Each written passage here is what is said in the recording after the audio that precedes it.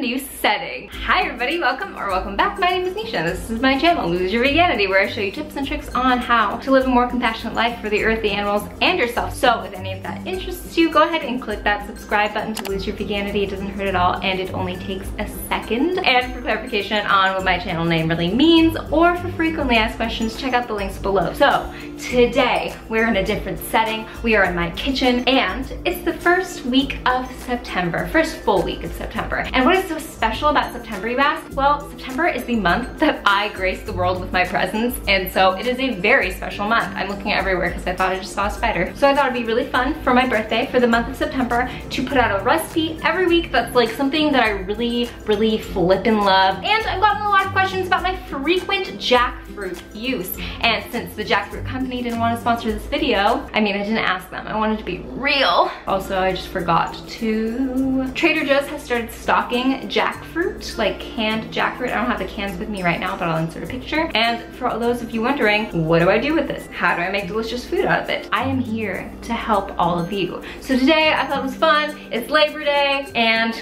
I don't know, I love this recipe. I actually first had it with Hannah McNeely. She's really sweet. She's a YouTube channel. Check it out below. And she made it and it was like so mind-blowingly good. It was like so much better than the ones I've ever bought in the pack, like the Uptons. I've told you guys, sorry Uptons, I do not like their jackfruit. It is super vinegary, but the ones that Hannah made were so good. So I'm going to attempt to make them right now. I'm going to be making some barbecue jackfruit sliders for all of y'all. And if you have a Trader Joe's near you, you can 100% make this recipe. I just wanted to point out that you do not have to get your jackfruit at Trader Joe's. You can get it at a health food store. You can get it at a Mexican grocery, an Asian grocery, world market, online, on Amazon. Just make sure you get the young jackfruit, not the fully ripe jackfruit or the jackfruit in syrup because then it will taste very weird. Instead of doing like a fully rehearsed recipe, I thought I would cook for you guys live. So let's get into the video. This is me the day before. I'm taking the cans of jackfruit that I have. You want it soaked in brine or water, not syrup, and I'm opening them up. Whoops and pouring out the contents into a colander. Then you're going to take each piece and take out the little hard seeds and the hard middle parts that don't split into meaty looking pieces. Then give them a good rinse and a good massage to make sure that the fruit meat is tender. Put your massaged meat into a bowl filled with filtered water and let it sit for 24 to 48 hours in the fridge. So now I'm going to take, now I'm supposed to take this, this jackfruit that's been soaking in filtered water for 24 hours. I'd say uh, two days is like the best, but ain't nobody got time for that. And this is the jackfruit that I picked out all the seeds and the stems. Pick out the seeds and stems. Now I'm gonna drain it and try to press out all the water and then, and then we're gonna mix the spice mixture, ingredients listed below, and it's supposed to be like a dry rub. It would be better if you had let that marinate like overnight or if you did all this ahead of time, kept it in a Ziploc bag, and then threw it all together last minute the day of, but I don't think that far ahead of time in the future, so help me God. Okay, I'm gonna go do that. I'm gonna go squeeze squeeze. Hi, I'm back. So it should kind of look like dry shredded chicken. And yeah, now I'm gonna mix it in with this dry rub. Let's see what happens. The reason I'm doing this like live for you guys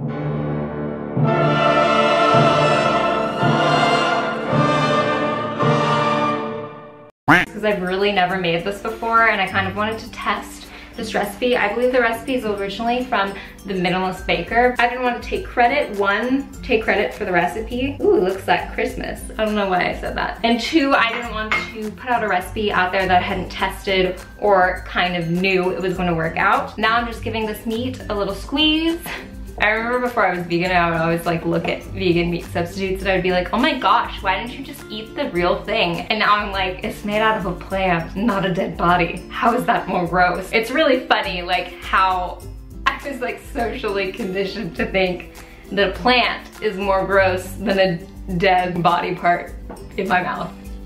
So weird, so weird. Okay, I'm back is what it should look like. Doesn't it kind of look like shredded beef? Jackfruit, more like jacked fruit. Get it? Because meat is a muscle. Okay, go ahead and subscribe. But now we're gonna put the meat in, this is my favorite skillet, this willing skillet. I'll add another card up here and a link below that talks more about what kind of pan I use for non-stick cooking. So I'm gonna add the jackfruit to the pot. I'm gonna pace awkwardly around my kitchen looking for a utensil. Here. Is it worth it? Let me work it. Should we change angles? Okay, I'll miss you guys. So now we're gonna add about a fourth a cup of your favorite barbecue sauce. I like the Annie's Sweet and Spicy Barbecue because that was what I was recommended. Ooh. Okay, turn it on, medium heat. I mean, come on. Do you hear that non-meat sizzling? Okay guys, while that is cooking, I'm gonna show you how I'm gonna dress it, okay? I don't know I'm talking like that. Now, I got one of these Sperlonga, Superlonga. I got a roll at the supermarket that's vegan, and um, I mean most rolls at the supermarket are vegan unless it's like a dessert roll, then usually it is buttered on top, like a brioche. But anyways, got a roll, gonna slice it in half, gonna put the meat on the sandwich, and we're gonna eat it. Then I'm going to have some white onion because where I grew up in Texas, we'd always have barbecue beef with white onion slivers on top and purple cabbage cause that's how we used to eat it when I grew up. Whatever floats your boat, honey, put it on there. Now time to assemble the sandwich. Let's go. Also decided to add some like avocado mashed up. I mean, it's purely for like aesthetic reasons and this booty ain't gonna get thick all by itself, you know what I'm saying? Hashtag booty gains. Is there anything better than the smell of bread? No. No, there is not. Now I have to concentrate because I have to make sandwich for Instagram and has to be very pretty, otherwise no one will watch this video. Okay? I mean, come on. This is the most gorgeous flippin' sandwich I have ever seen in my life. Okay, it's been photographed and I'm gonna try it. It's so hard to photograph sandwiches, I don't think it turned out. All right, I'm gonna try it.